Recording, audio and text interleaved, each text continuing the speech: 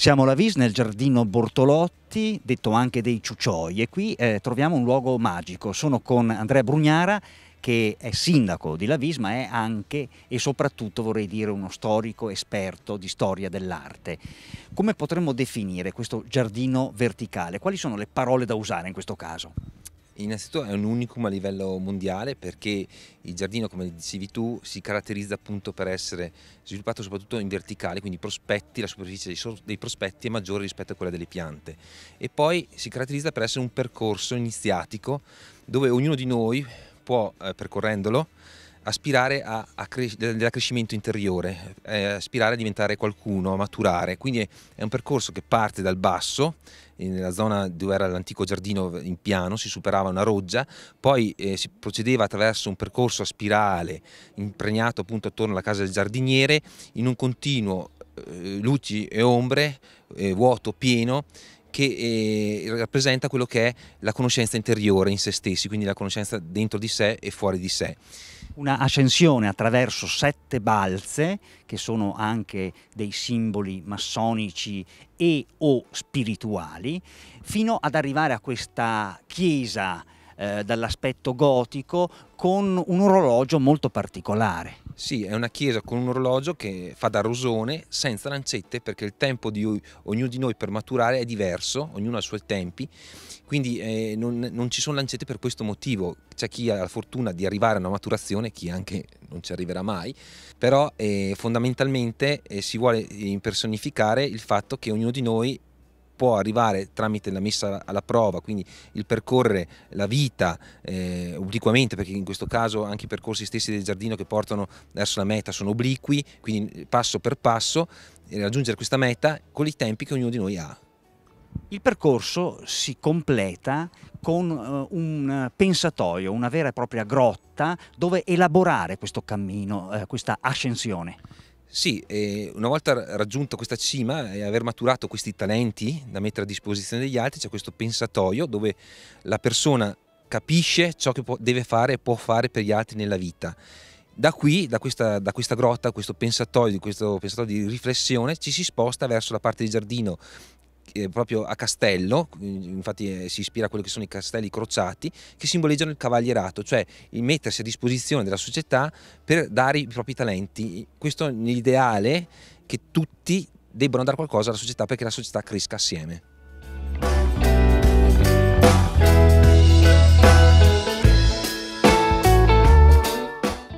Questa struttura tra qualche tempo sarà aperta al pubblico e Ciucioi ha un riferimento alla storia. In tedesco ricorda Zum Zoll, cioè alla dogana. Perché? Perché proprio qui vicino alla Visio c'era un antico dazio che significava anche la frontiera, il confine tra il mondo tedesco e a sud il mondo italiano.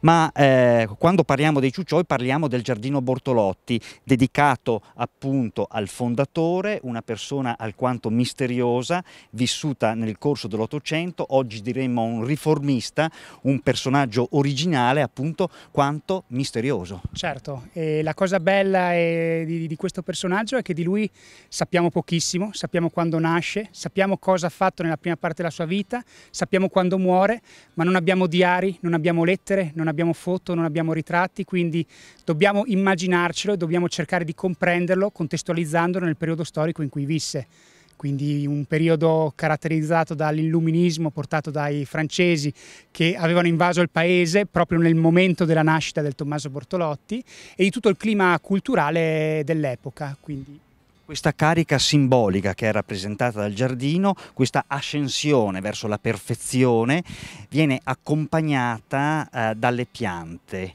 viene accompagnata da questa botanica eh, esotica, ricercata, eh, potremmo dire oggi globalizzata, ma per mantenere i limoni e anche le altre piante che erano presenti, Bortolotti ha messo a punto un sistema che sta dentro questa roccia eh, per mitigare il clima E sì, beh, il personaggio è sicuramente eclettico, è un personaggio sicuramente con una mente che guardava oltre, un illuminato.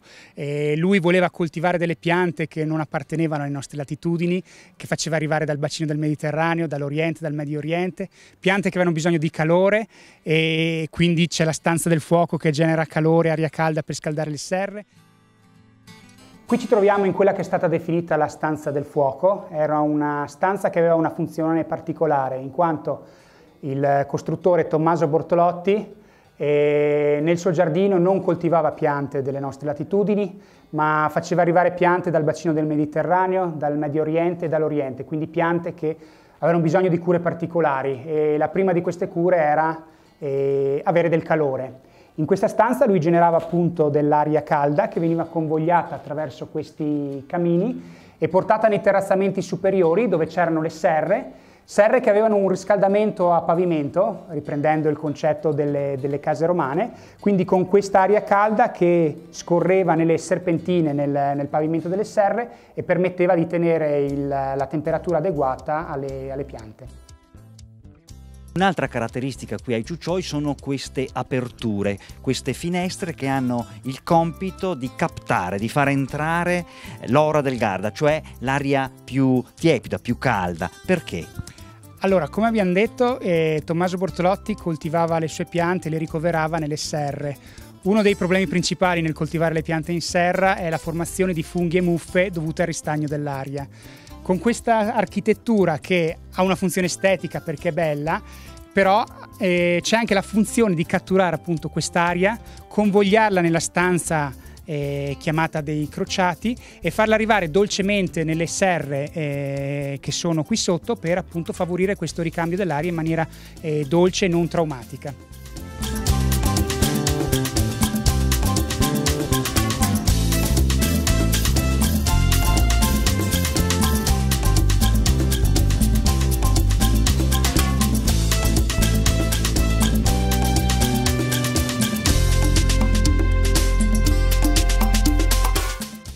Storia dei Ciucioi è anche una storia di una lenta riappropriazione da parte del comune, ma soprattutto da parte della comunità lavisana di questo luogo davvero magico. Ma come ha vissuto, ecco, soprattutto nel lungo tempo dell'abbandono, come ha vissuto il paese il rapporto con il giardino dei Ciucioi? Enzo Marcon è il consigliere delegato al parco fluviale della Visio. Come ha vissuto questo rapporto il comune, il paese soprattutto? Il paese è stato tanto esterefatto e felice dell'acquisto di questo luogo, luogo che non conosceva, che non conosceva perché per anni appunto era rimasto all'abbandono e quindi con l'acquisto da parte del comune vent'anni fa il paese ha cominciato almeno a incuriosirsi. Qui è rimasto per tanto tempo in abbandono e ci sono anche degli aneddoti importanti magari da ricordare. Ci sono tantissimi aneddoti, soprattutto in gioventù personalmente, ma anche altri ragazzi eh, più attempati di me, si saliva su questo castello alla ricerca dei tesori, eh, alla ricerca di, di, di nuove scoperte.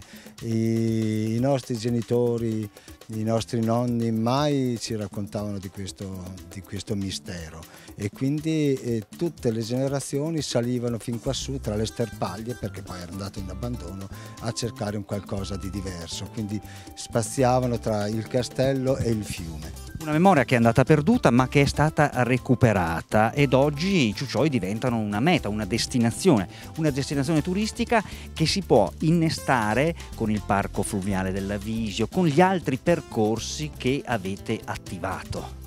Sì, effettivamente stiamo attivando i percorsi, il parco fluviale già anche eh, questo progetto che continua da una ventina d'anni e che si sta concretizzando soprattutto eh, con una sentieristica che andrà a eh, coprire dei circuiti che eh, in un futuro breve andranno a eh, completare quelle che saranno le visite al Giardino Bortolotti e le visite al Parco Fluviale stesso.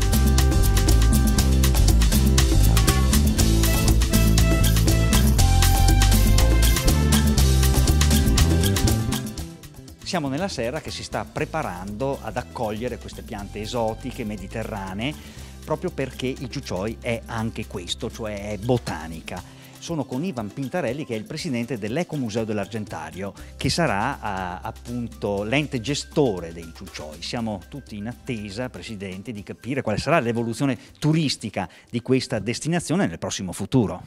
Beh sì, Ecomuseo ha raccolto con entusiasmo questo nuovo impegno.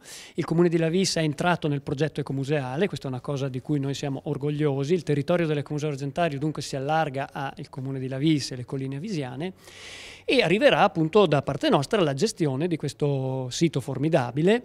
L'idea è quella di impostare delle visite guidate, dunque con un accompagnatore professionista che condurrà un gruppo eh, contingentato, però diciamo di un numero limitato di persone lungo tutti i vari livelli della, della struttura del sito. Quindi una nuova meta, sia storica sia naturalistica, per il Trentino. Certamente, qui c'è un grande interesse legato alla storia dell'opera architettonica, di questa eh, idea di questo Tommaso Bortolotti, ma c'è anche la parte molto interessante che cercheremo pian pianino di ricostruire assieme al comune, assieme ad altre realtà anche di tipo privatistico, che è quella del, del giardino botanico. Effettivamente si è partiti in questo luogo con un allestimento di limoni, questa era una limonaia, e cercheremo nel, nei prossimi mesi, negli anni anche di proprio ricostruire quello che era l'aspetto botanico e curioso di, delle piante che ci stavano. Grazie, grazie Presidente. Noi ci innalziamo verso la Valle di Cembra per parlarvi ancora di questo territorio.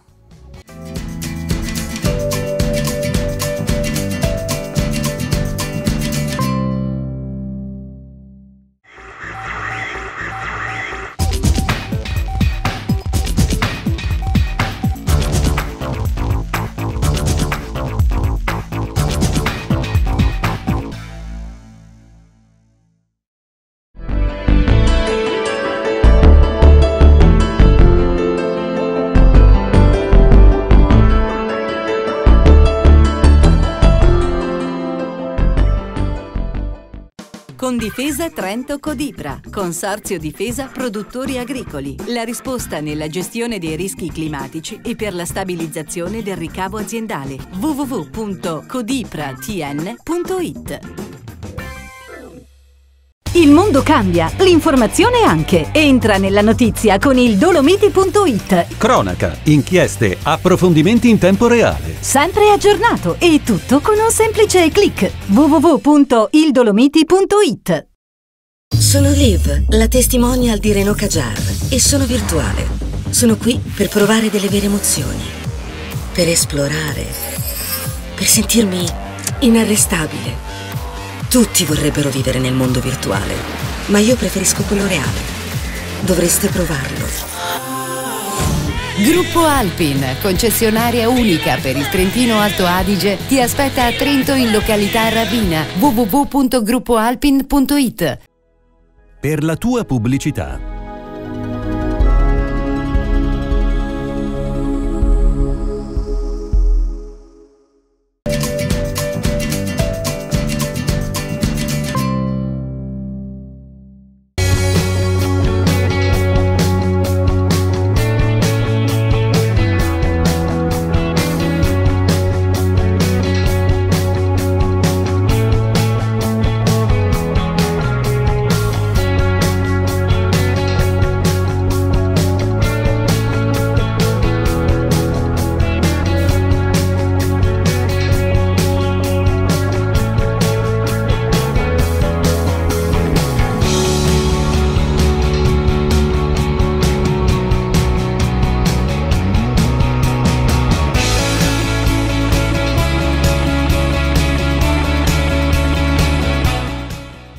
Voltiamo l'angolo sopra la Vis e siamo a Maso Frank, all'inizio della Valle di Cembra e qui, vicino a questo vigneto coltivato con metodi naturali, troviamo l'omonima destinazione che è Maso Frank.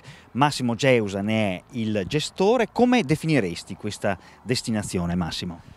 Ma è un punto di riferimento per la valle, un bigliettino da visita per chi arriva e subito dopo l'abitato di Lavis, la prima cosa che incontra arrivando in Val di Cembra è Maso Frank, subito dopo qualche curva dove c'è una piccola proposta per l'ospitalità, abbiamo 12 camere da letto e una ristorazione che legata, si sta legando sempre più eh, al territorio.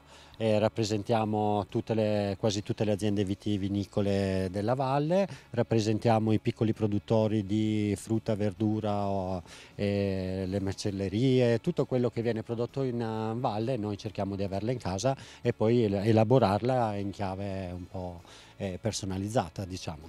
Diciamo che siamo subito in Valle di Cembra svoltato proprio l'angolo, si apre questa valle nella sua dimensione anche naturale con la valle della Visio e poi naturalmente questi vigneti eroici che conosciamo e sono apprezzati in tutto il mondo. Diciamo che la proposta enologica è davvero importante e la stessa vicinanza al territorio. Dopodiché in un posto appartato qui troviamo anche eh, l'ideale per eh, delle feste, cioè anche per l'aspetto no, più diciamo edonistico se vogliamo del vino. Sì, sicuramente. Noi beh, al Maso Frank ci, ci si può festeggiare il semplice compleanno in coppietta o l'anniversario, come anche feste di compleanno, battesimi, comunioni, cresime, eh, perché no, anche predisposto per uh, ricevimenti di matrimoni, quindi cene aziendali, un po' tutto quello che qualsiasi cosa uno voglia fare e sceglie Maso Frank, noi non conosciamo il no. A questo punto Massimo conosciamo una giovane chef che è Giorgia che ci illustra la sua proposta del giorno. Benvenuti nella cucina di Maso Frank e oggi ho preparato una vellutata di zucca, visto il periodo autunnale, che servirò con dei bocconcini di formaggio impanati e fritti, dei semi di zucca tostati e della zucca croccante fatta in padella.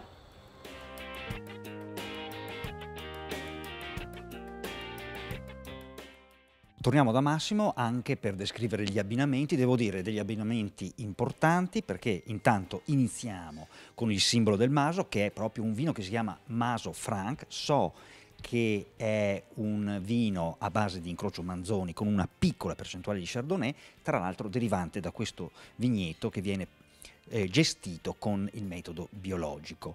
Un abbinamento stagionale abbiamo detto, cioè con la vellutata. Sì, è una vellutata di zucca che adesso inizia insomma, la stagione delle zucche accompagnata con dei bocconcini di formaggio fritto, quindi abbiamo un po' di grassezza che si aggiunge al piatto e con eh, il vino Maso Franc riusciamo ad avere la struttura giusta perché un po' rispetto agli altri vini bianchi della, della valle è un po' più strutturato, un po' più complesso anche se vogliamo e, e poi però eh, conserva le note caratteristiche della freschezza dei vini bianchi della valle, quindi abbiamo, questo, abbiamo scelto questo vellutata appunto per quello.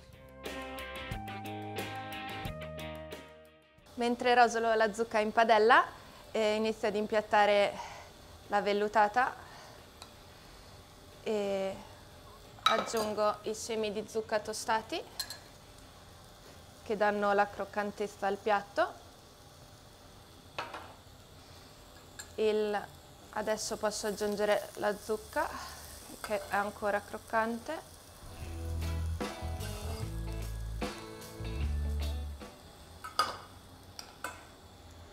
E infine il mio formaggio fritto.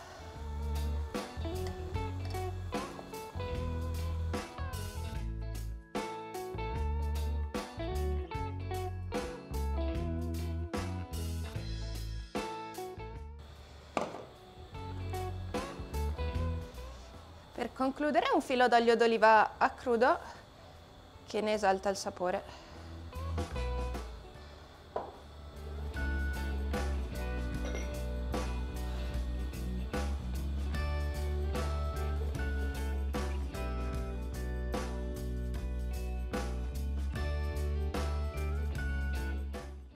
Passiamo al maialino, cambiamo vino, cambiamo. ci alziamo ancora in quota perché stiamo parlando di un pinot nero di montagna. Assolutamente, e in questo caso per il nostro piatto abbiamo scelto il pinot nero Sausent della cantina di Cembra quindi abbiamo eleganza, un po' di struttura e, e, molti bei profumi di piccole bacche rosse. L'abbiamo abbinato a quello che è il nostro maialino da latte, cotto lentamente tutta la notte, accompagnato con un flan di zucchine.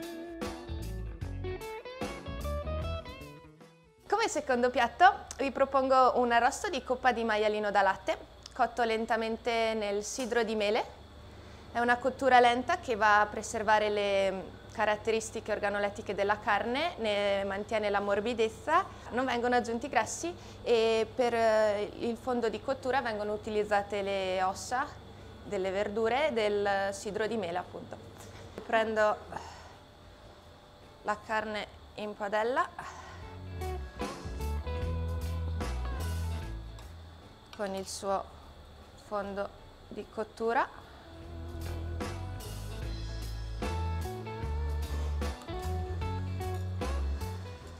In accompagnamento ho preparato questo tortino di zucchine profumato alla menta, delle patate al forno al rosmarino. Adesso posso impiattare la carne.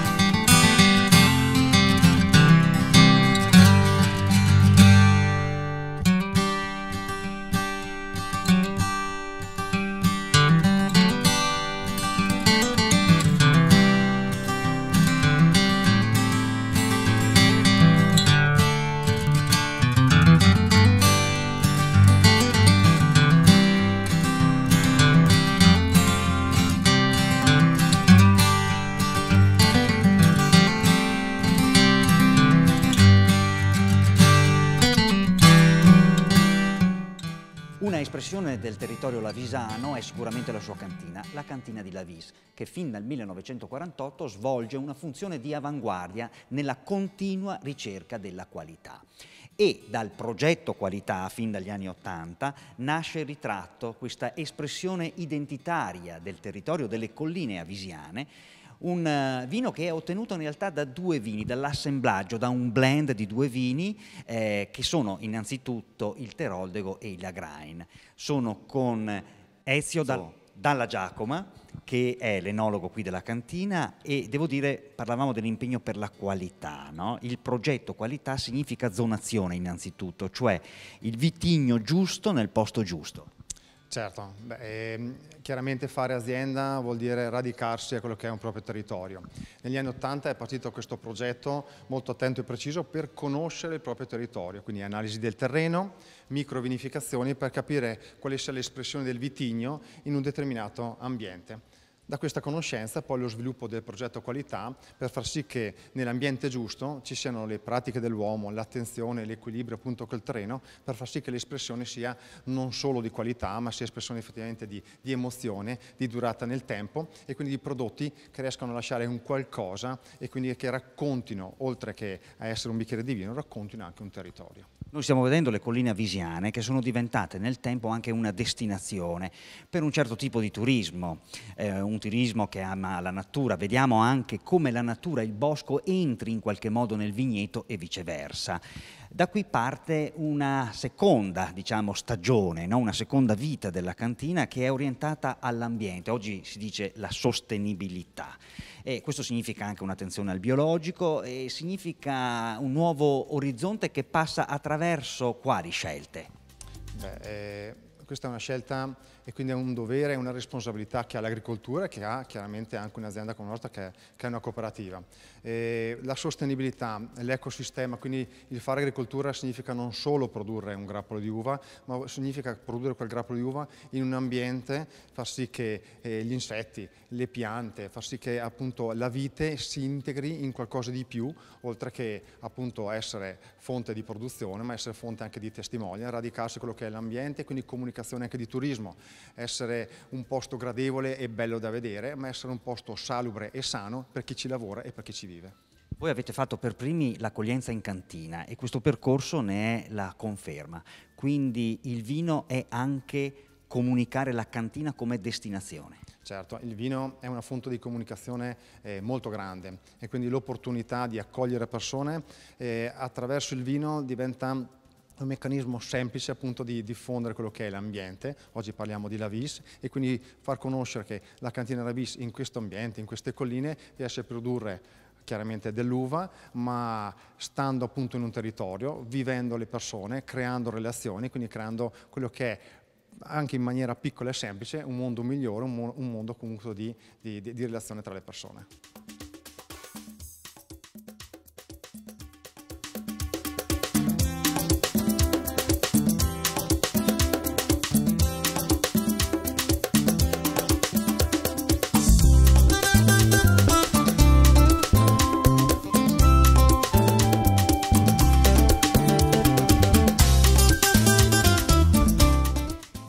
Barricaia vediamo la preparazione del teroldego. E qui siamo con questa tonnò, tonnò significa una botte da 5 ettolitri, 500 litri di vino. E vediamo, vediamo il teroldego di quale annata in questo caso?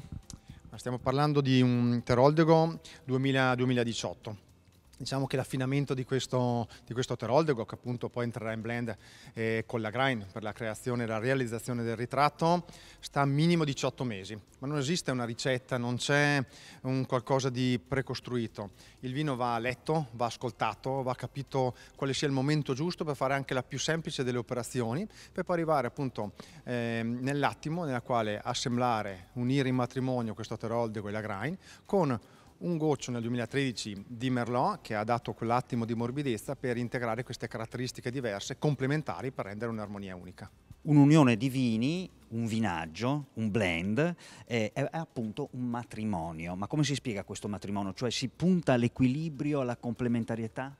Eh, si punta in realtà a esaltare le caratteristiche dei singoli, dei singoli, vitigni attraverso un equilibrio che esalti soprattutto il territorio e che sia in grado di produrre un vino non solo buono ma non solo di qualità ma in grado in questo caso di accompagnare un'idea di quello che è Cantina La Vis quindi il saper fare di Cantina La Vis la ricerca, la passione, l'attaccamento al territorio e la prospettiva nel tempo. Quindi vivere le emozioni Naturalmente quando parliamo di eh, Teroldego e Lagrain parliamo di due borghi, Pressano e Sorni, ma in questo areale eh, trova posto anche un terzo vino che adesso andiamo a conoscere.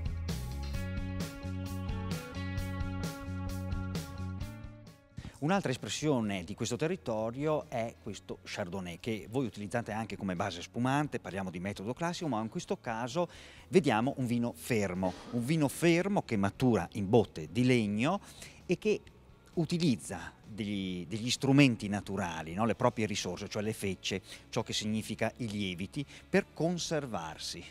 Certo, eh, qua parliamo appunto dello Chardonnay di Aul, che siamo appunto in cima alla collina di Persano dove Poco nel recente passato c'era una piccola casa del, detta la casa del diavolo, nel quale gli abitanti si avvicinavano in maniera um, con un po' di timore. Ad oggi invece c'è un bellissimo vigneto e lì eh, cerchiamo di creare veramente un vino autentico, quindi cercare di lavorare con attenzione in campagna e poi portarsi in cantina tutto questo valore attraverso questa tecnica, quindi il batonage, quindi l'utilizzare le lisi dei propri lieviti, quindi eh, cercare un'autoconservabilità all'insegna di quello che è eh, la complessità e l'arricchimento del vino stesso in maniera naturale. Dobbiamo immaginarci il vino nella botte che fermenta, produce queste fece, questi lieviti che aiutano il vino stesso a conservarsi. Il batonage serve proprio, lo vediamo qua, per riportare in superficie e questo significa vino al naturale, autoconservazione e questo significa anche che eh, la dimensione dell'ambiente continua eh, nel vino.